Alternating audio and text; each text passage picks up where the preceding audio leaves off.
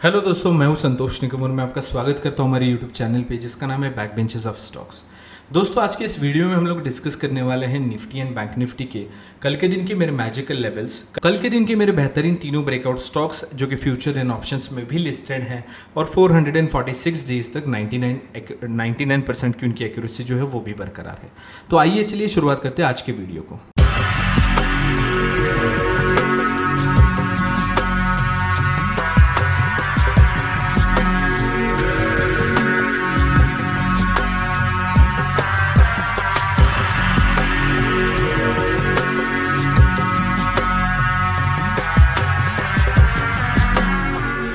दोस्तों, वीडियो को शुरुआत करेंगे निफ्टी एंड बैंक निफ्टी के, जो भी कल हम लोगों ने लेवल डिस्कस किए थे आज के इंटरडे ट्रेडिंग के लिए। उसके एनालिसिस के साथ में शुरुआत करेंगे बैंक निफ्टी के साथ में।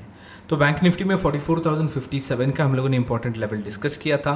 मॉर्निंग में इसे रिटेस्ट भी किया था मार्केट में लेकिन इसके ऊपर मार्केट सस्टेन नहीं हो पाया और कम्प्लीटली साइडवेज आज का दिन जो है वो हम लोग को यहाँ पे बैंक निफ्टी में देखने को मिला।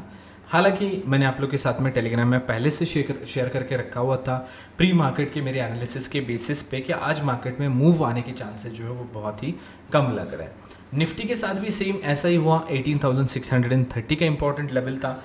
इसे पूरे दिन भर मार्केट ब्रेकआउट नहीं दे पाया। लेकिन पॉजिटिव चीज़ ये थी कि डाउनसाइड से जो हम लोगों ने सपोर्ट क्रिएट किया हुआ था ड्रॉ किया हुआ था उसे भी ब्रेकडाउन जो है नहीं दे पाया था। इसके बीच में प्राइस ने आज पूरा दिन भर अपना टाइम जो है वो स्पेंड किया है। अगर से बात करेंगे जो भी तीन ब्रेकआउट स्टॉक्स आप लोग के साथ में शेयर किए थे, मैंने उसके एनालिसिस के साथ में तो सीमेंस उसमें से पहली ब्रेकआउट स्टॉक थी जो अपसाइड में ब्रेकआउट नहीं दे पाई थी। डाउन साइड में हम लोग को एक मूव इसमें देखने को मिला, जिसमें पी साइड में एक अच्छा प्रॉफिट हम लोगों को यहाँ पे देखने को मिला है। दूसरा ब्रेकआउट स्टॉक आज के दिन के लिए जो हम लोगों ने डिस्कस किया था, वो था एस का स्ट्रेट फॉल इस कैंडल के साथ में हम लोग को देखने को मिला था और उसके बाद में हमारी बाई साइड की या फिर सेल साइड की किसी भी लेवल को स्टॉक ने ब्रेकडाउन नहीं दिया था या फिर ब्रेकआउट भी नहीं दिया था तो यहाँ पर कोई ट्रेड नहीं बना था। तीसरी ब्रेकआउट स्टॉक थी आज की हमारी पेडलाइट इंडस्ट्रीज़ की, जिसकी पाँच मिनट की कैंडल जो है, काफ़ी बड़ी बनी थी और उसके बाद में हम लोग को कोई भी पुल बैक जो है वो मार्केट में क्रिएट नहीं हुआ। सो स्ट्रेट अपसाइड में जाने वाला स्टॉक जो है ऐसे हम लोग प्राइस एक्शन के बेसिस पे ट्रेड नहीं कर सकते हैं, क्योंकि फिर उससे रिस्क जो है वो काफ़ी बढ़ जाता है और रिस्क के हिसाब से रिवॉर्ड आने के चांसेस जो है वो बहुत कम हो जाते हैं। तो ऑप्शंस में हमेशा हमें, हम लोगों को जो अपना लॉस है, उस पर कंट्रोल रखना पड़ता है।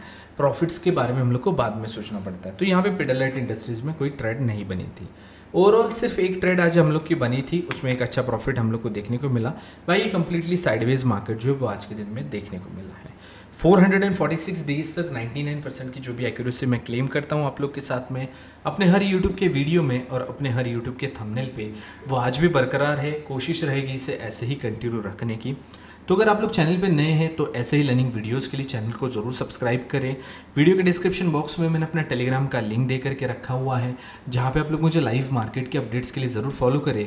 और सबसे इंपॉर्टेंट चीज़ गाइज़ अगर आप लोगों ने अभी तक वीडियो को लाइक और कमेंट नहीं किया हुआ है तो ज़रूर कर दें। ठीक है। और एक चीज़ गाइस अगर से आप लोग मेरी प्रीमियम सर्विसेज़ को फ्री ऑफ़ कॉस्ट में पाना चाहते हैं, अगर से आप लोगों ने नहीं देखी है मेरी एक्यूरेसी तो एक बार यूट्यूब को स्क्रॉल करके देख लीजिए और टेलीग्राम को भी स्क्रॉल करके देख लीजिए। मेरी प्लैटिनम प्रीमियम सर्विसेज़ जो कि स्पेशलाइज्ड है Nifty and bank Nifty index options पे, इसे आप लोग कंप्लीटली फ्री ऑफ़ कॉस्ट में जो है वो पा सकते हैं। लिंक डिस्क्रिप्शन बॉक्स में दिया हुआ है। अकाउंट ओपनिंग का आप लोग को एक नया डीमैट अकाउंट जो है वो ओपन करना होगा। मेरे दिए गए लिंक थ्रू और आप लोग मेरी प्रीमियम सर्विसेज़ को जो है वो फ्री ऑफ़ कॉस्ट में एंजॉय कर सकते हैं। प्रॉब्ली कैप कल के दिन की हमारी पहली ब्रेकआउट स्टॉक होने वाली है, जिसमें हम लोग को एक ट्रेंड लाइन का काफ़ी अच्छा रेजिस्टेंस दिखाई दे रहा है और उतना ही अच्छा एक सपोर्ट ट्रेंड लाइन का स्टॉक ने क्रिएट करके रखा हुआ है। एंड कम्प्लीटली इसके अंदर प्राइस जो है वो स्क्वीज हो चुका है और इधर किसी भी साइड में ब्रेकआउट के लिए रेडी भी है। 3527 के नीचे पॉलीकैप वीक है 3519, 3508 और 3495 यहाँ पे हमारे डाउनसाइड के लेवल्स रहेंगे तो 3540 स्टॉप लॉस रहेगा। इनकेस नीचे नहीं आता है रेजिस्टेंस को ब्रेकआउट देने में कामयाब हो जाता है तो 3540 के ऊपर स्टॉक बुलिश है 3548, 3560 और 3575 यहाँ पे हमारे अपसाइड के लेवल्स रहेंगे तो 3527 स्टॉप लॉस रहेगा। दूसरा ब्रेकआउट स्टॉक कल के दिन के लिए जो हम लोग यहाँ पर डिस्कस करने वाले हैं वो रहेगा हिंदुस्तान यूनिलीवर का। इस स्टॉक के बारे में अगर हम लोग बात करेंगे तो यहाँ पे ट्रेंड लाइन का बहुत अच्छा सपोर्ट इसने क्रिएट करके रखा हुआ है। और 2657 के ऊपर स्टॉक बुलिश है। 2664, 2675 और 2690 यहाँ पे हमारे अपसाइड के लेवल्स रहेंगे तो 2645 स्टॉप लॉस रहेगा। इन केस अपसाइड नहीं चला जाता है। तो 2645 के नीचे ब्रेकडाउन के बेसिस पे स्टॉक वीक है। 2638, 2625 और 2613 यहाँ पे हमारे डाउनसाइड के लेवल्स रहेंगे। तो 2657 स्टॉप लॉस रहेगा।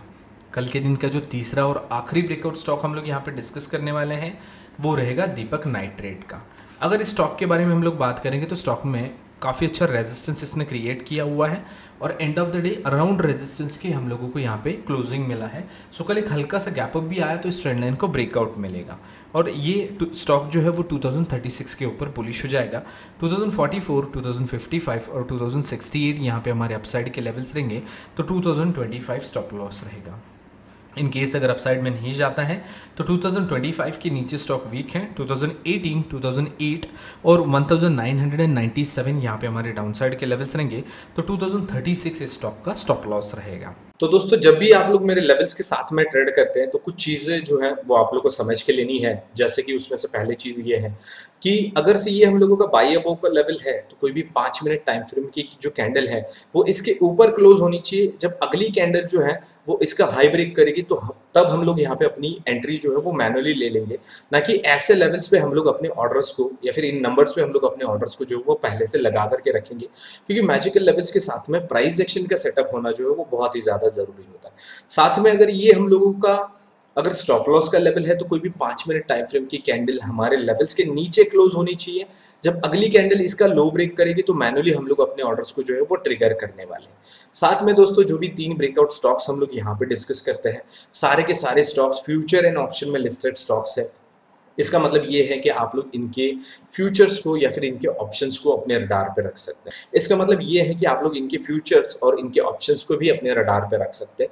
अगर आप लोग ऑप्शंस को सिलेक्ट कर रहे हैं तो एक चीज़ पे आप लोग को ध्यान देना है कि जो भी स्ट्राइक प्राइस आप लोग सेलेक्ट करोगे, वो या तो इन द मनी होनी चाहिए या तो एट द मनी होनी चाहिए, क्योंकि आउट द मनी पे ट्रेड करने के सेटअप्स और लॉजिक जो होता है, बहुत ज़्यादा डिफरेंट होते हैं। उसका डेल्टा भी बहुत कम होता है। सो बींग बिगिनर आप लोग को ये गलती जो है, वो नहीं करनी चाहिए।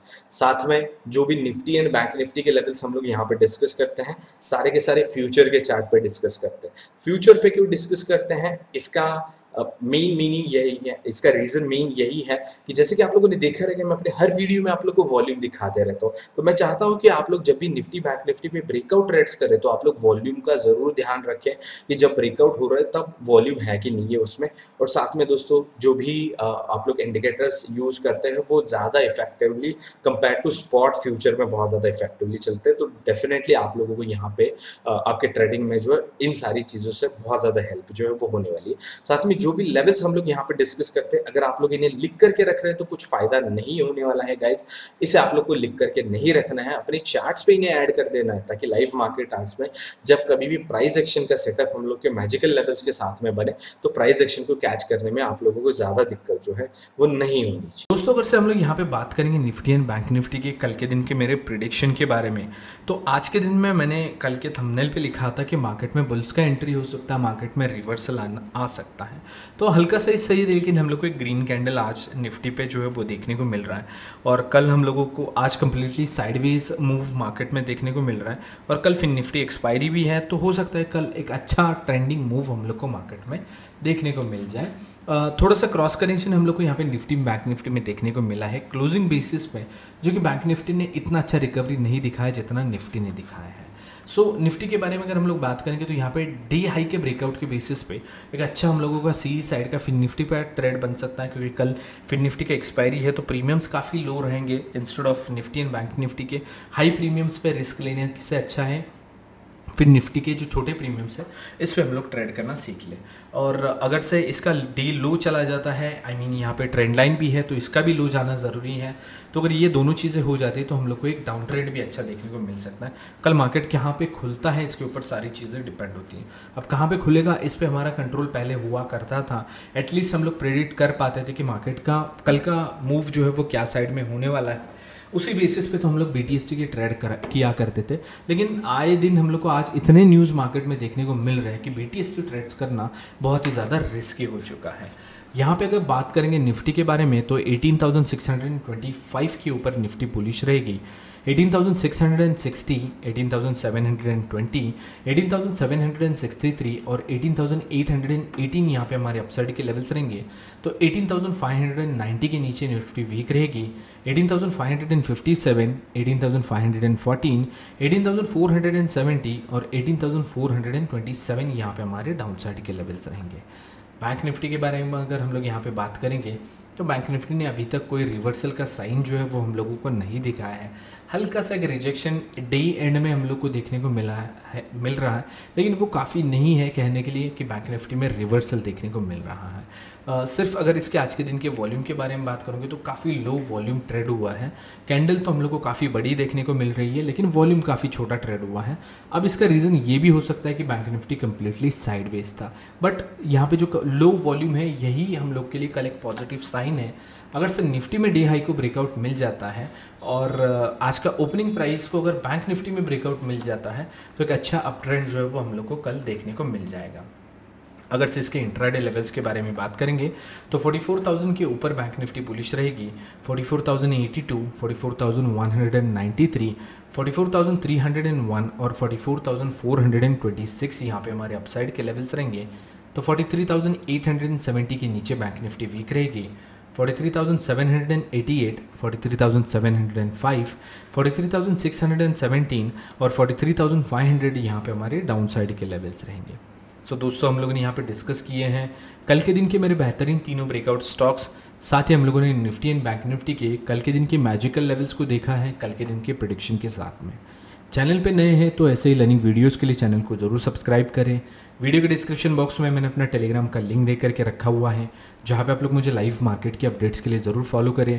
और सबसे इंपॉर्टेंट चीज़ गाइज़ अगर आप लोगों ने अभी तक वीडियो को लाइक और कमेंट नहीं किया हुआ है तो ज़रूर कर दें। Thank you so much